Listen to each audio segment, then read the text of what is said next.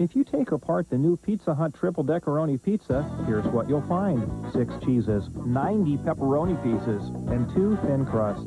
And if you take a bite, here's what you'll say. Wow! What a pizza! Cool.